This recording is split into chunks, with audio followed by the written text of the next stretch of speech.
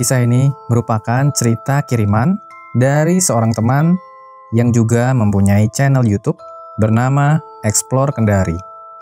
Bagi teman-teman yang ingin melihat video-videonya, linknya dapat dilihat di kolom deskripsi.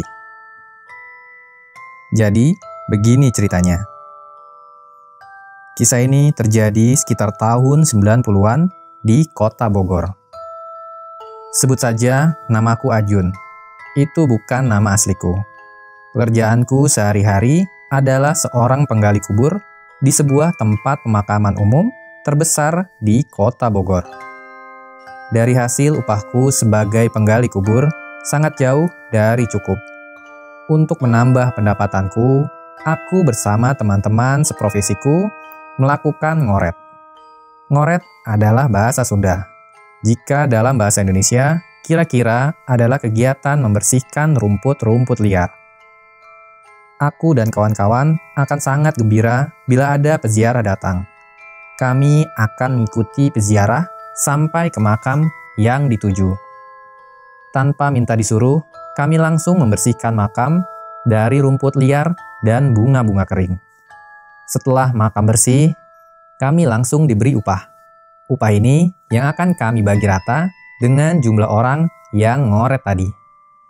Itulah aktivitas aku sehari-hari jika tak ada panggilan untuk menggali kubur. Sekedar untuk menambah penghasilan agar dapur tetap ada aktivitas. Sampai akhirnya aku dan kawan-kawan mendapat kabar baik bahwa kami diminta menggali sebuah lubang baru untuk makam. Entah ini kabar baik apa kabar buruk? Baik untuk kami yang memang pekerjaan kami menggali kubur, tapi kabar buruk untuk keluarga almarhum yang ditinggalkan. Namun entahlah, yang aku tahu saat itu aku akan mendapat imbalan dari hasil galian kubur kami. Aku dan kawan-kawan bergegas mencari lahan yang masih kosong untuk digali. Kami harus secepatnya, karena menurut orang kantor, Jenazah akan tiba sekitar 2 jam lagi. Saat itu sudah sekitar jam 3 sore.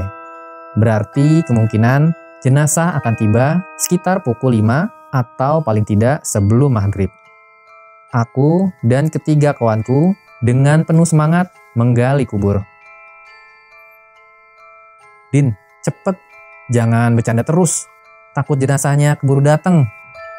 Aku menegur temanku Udin yang selalu bercanda dengan Asep, temanku yang satu lagi.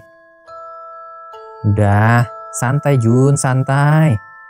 Udin menjawab sambil tersenyum. Lalu aku pun cuek saja dan fokus untuk meneruskan pekerjaan kami. Masa bodoh dengan Udin yang bercanda terus. Atau tepatnya menjahili Asep dengan membuang tanah ke badan pakai cangkul.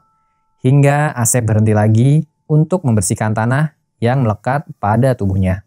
Asep memang paling muda di antara kami. Kira-kira satu jam kemudian, akhirnya pekerjaan kami selesai. Tanah sudah tergali. Aku dan kawan-kawanku bersirahat di sekitar galian yang kami buat. Sambil menikmati minuman dan cemilan yang disediakan oleh perwakilan keluarga duka untuk kami. Dan juga menunggu kedatangan jenazah dan para pengantarnya. Mang, maaf, kalau almarhum dimakamkan bersama kaki palsunya, boleh nggak ya? Kata Pak Heri, kerabat dari almarhum yang tiba-tiba bertanya padaku yang sedang menyeruput kopi hitamku. Maksudnya gimana ya pak? Tanyaku ingin tahu lebih jelas lagi. Begini loh mang, Almarhum itu kan kebetulan cacat. Jadi semasa hidupnya, beliau selalu menggunakan kaki palsu kesayangan pemberian mendiang istrinya yang terlebih dahulu meninggalkannya. Maka sebelum almarhum meninggal, beliau berwasiat agar kaki palsunya ikut dikuburkan bersama jasadnya. Jelas Pak Heri panjang lebar alasan mengapa almarhum ingin dimakamkan bersama kaki palsunya. Astagfirullah, menurut syariat Islam yang saya tahu pak, tidak boleh membawa apa pun yang berasal dari dunia kecuali kain kafan. Punten, Pak. Setahu saya yang bodoh ilmu agama seperti itu. Satu hal lagi, apa kaki palsunya bisa dicopot ya Pak? Aku pun menjelaskan yang aku tahu saja. Semoga ini juga benar. Oh, begitu ya, Mang? Setahu saya sih, bisa dicopot itu kaki palsunya. Ya sudah, nanti saya sampaikan ke keluarga almarhum. Jawab Pak Heri. Iya, Pak. Setelah obrolan kami selesai, Pak Heri pamit dan menuju ke kantor TPU. Setengah jam kemudian, iringan pengantar jenazah pun tiba di areal pemakaman. Setelah sampai di tempat galian kami, keranda pun diturunkan. Masih aku lihat isak tangis kesedihan keluarga almarhum yang ditinggalkan. Aku dan kawan-kawanku membantu proses pemakaman hingga selesai. Tapi setelah selesai pemakaman, aku melihat sesuatu. Ya, kaki palsu almarhum. Dalam hati aku bergumam. Kenapa harus dibawa ke makam kaki palsunya? Aku pun tersentak dari lamunanku ketika seseorang menepuk pundakku. Mang, punten, saya dapat amanat dari keluarga almarhum. Tolong diurus bekas kaki palsu almarhum ya. Tolong dikubur terpisah. Tapi jangan jauh-jauh dari makam almarhum ya. Pak Heri berujar dengan mimik muka serius padaku. Oh, iya, baik pak. Jawabku gugup. Baik, terima kasih banyak emang. Pak Heri mengucapkan terima kasih sambil mengajak bersalaman yang ternyata sudah ada amplop di tangan sambil berbisik. Ini ada sekedar ucapan terima kasih dari keluarga almarhum. Yang lain juga sudah dikasih, Mang. Jadi ini buat Amang aja. Waduh, terima kasih banyak ya, Pak. Semoga almarhum diampuni segala dosanya, diberikan tempat terbaik di sisinya, Semoga keluarga yang ditinggalkan diberikan kesabaran. Doaku pada almarhum dan keluarganya. Amin, Allahumma amin. Kalau begitu, kami pamit ya, amang semuanya. Pak Heri pun pamit pergi. Aku dan kawan-kawanku mengangguk sambil melambaikan tangan dan tak lupa mengucapkan terima kasih banyak. Setelah para pelayat dan keluarga duka pergi, aku dan Asep berniat menggali tanah di samping makam yang baru saja ditutup untuk menguburkan kaki palsu peninggalan almarhum. Tiba-tiba, Udin memberikan ide. Hei, bagaimana kalau kaki palsu ini kita jual? Lumayan loh, nanti hasilnya kita bagi berempat. Ah, yang bener. Sadar atuh, ini tuh amanat. Asep mengingatkan Udin. Tapi benar juga tuh idenya Udin. Kita jual aja. Nanti kita bagi rata hasilnya. Lumayan buat beli rokok. Adang temanku satu lagi tiba-tiba berujar sambil mendukung ide Udin. Entah mengapa, akhirnya kami berempat setuju untuk tidak menguburkan kaki palsu itu, malah menjualnya. Malamnya, kami menjual kaki palsu itu pada seorang kenalan kami yang memang hobi dengan barang-barang yang berbau mistis. Setelah harga disepakati, akhirnya kami memberikan kaki palsu itu pada seorang kenalan kami. Hasil dari penjualan kaki palsu itu, kami bagi rata berempat. Berapa besarnya, biarlah kami yang tahu. Kami pun pulang ke rumah masing-masing dengan hati yang riang. Aku pulang dengan uang yang lumayan banyak untuk pekerjaan kami hari ini. Setelah sampai di rumah, aku langsung mandi untuk membersihkan tubuhku yang kotor oleh tanah yang menempel di tubuhku. Setelah mandi, aku menemui ibuku. Aku berikan beberapa lembar uang hasil kerjaku hari ini. Ibuku terlihat senang namun, ada keheranan dengan pendapatanku yang cukup banyak untuk hari ini. Aku beralasan dapat rejeki dari orang baik yang ingin sedekah. Akhirnya, ibu mengangguk sambil bersyukur. Untuk melepas lelah, aku sengaja membuat secangkir kopi. Aku meminumnya sambil merokok di teras rumah yang memang menghadap ke kebun yang penuh dengan pohon durian dan duku. Saat sedang asik-asiknya menikmati kopi dan rokok, sekelebat aku melihat seperti sosok yang sedang berlari, tapi sangat kencang. Aku penasaran, lalu berdiri dan melihat sekeliling depan rumahku. Tak ada apa-apa. Kemudian bulu kuduku terasa meremang. Anehnya lagi, aku merasa sedang diawasi seseorang. Namun, tak ada siapa pun di hadapanku. Baru kali ini, aku merasa takut. Sebelumnya, aku tak pernah merasa takut pada apa pun, termasuk hantu atau sejenisnya. Namun, berbeda dengan saat ini aku benar-benar merasa terusik dan agak takut. Akhirnya, aku putuskan masuk ke dalam dan segera tidur. Di dalam kamar, aku tetap gelisah dan merasa ada yang sedang memperhatikanku. Tapi tak nampak apa pun. Kulihat jam dinding menunjukkan jam 11 malam. Hawa kantuk mulai menyerangku. Akhirnya, Aku mulai memejamkan mata.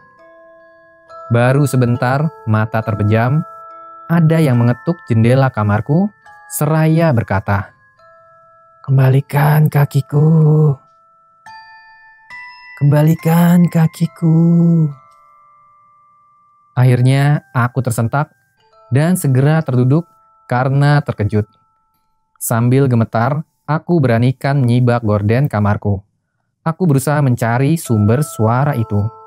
Namun nihil, tak kulihat apa pun atau seseorang di luar sana. Aku kembali ke tempat tidurku.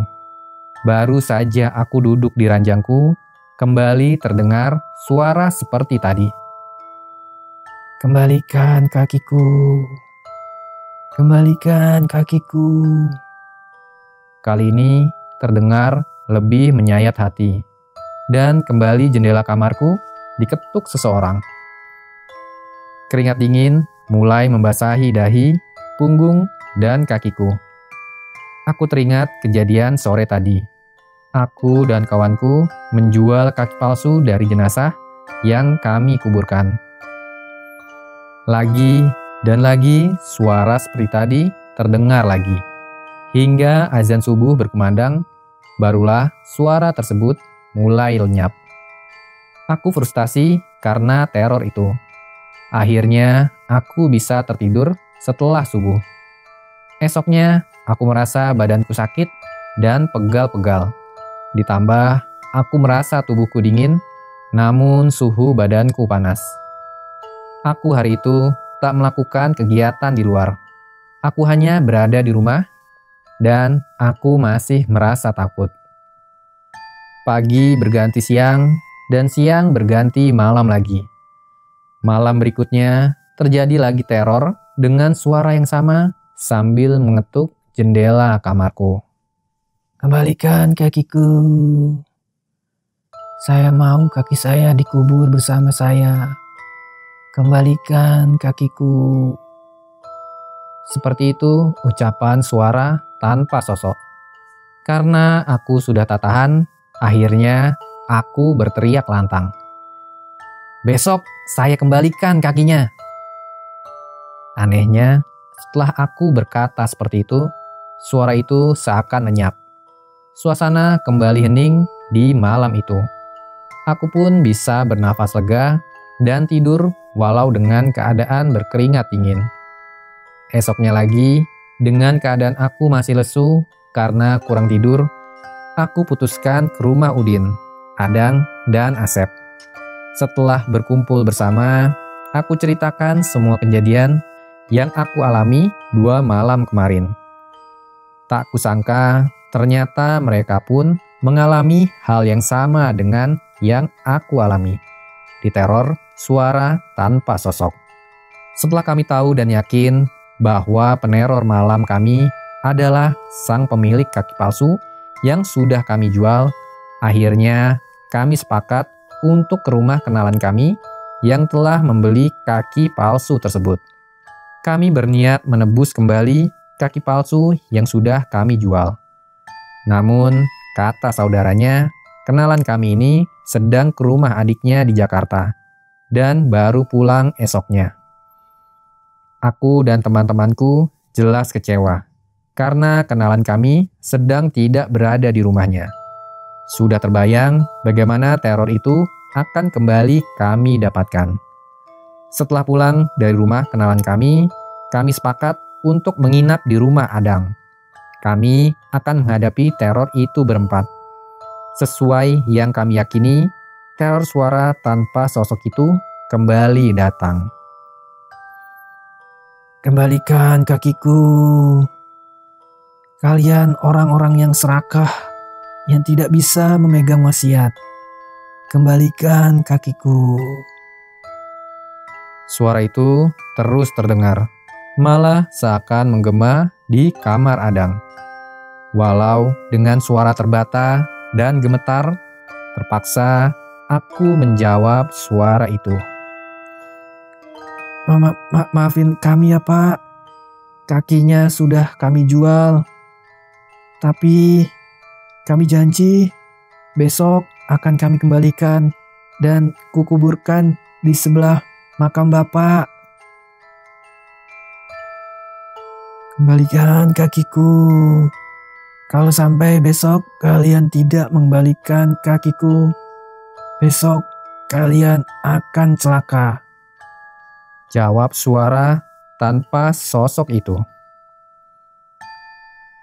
Baik pak, kita janji pak, besok kita balikin kakak kaki bapak. Tanpa diduga, Asep menjawab dan berjanji untuk mengembalikan kaki palsunya. Kembalikan kakiku, kembalikan kakiku. Suara itu masih saja terdengar, namun seperti semakin menjauh dan hilang sama sekali. Malam itu, kami berempat tidak tidur sama sekali. Bahkan kami tidak bicara dan hanyut dengan pikiran kami masing-masing. Esok paginya, sekitar jam 11 siang, kami berempat kembali lagi ke rumah kenalan kami. Kami bersyukur karena orang yang kami cari sudah berada di rumahnya sejak pagi. Singkat cerita, akhirnya kami dapatkan kembali kaki palsu itu walau sebelumnya kami negosiasi yang alot. Akhirnya, kami diizinkan membawa kaki palsu tersebut dengan konsekuensi. Kami harus membayar dua kali lipat dari harga yang kami jual sebelumnya. Kami membawa kaki palsu itu ke pemakaman dan menguburkannya di samping makam si empunya. Setelah sebelumnya kami minta maaf di makam si pemilik kaki palsu itu. Setelah kaki itu dikuburkan sesuai dengan permintaan keluarga almarhum, malam-malam berikutnya kami tak pernah lagi mendengar suara tanpa sosok itu. Demikian kisah nyata yang telah dibuat sesuai informasi dari sumbernya. Terima kasih buat teman-teman sekalian yang telah mendengarkan cerita ini. Jaga kesehatan, sampai jumpa lagi di episode selanjutnya.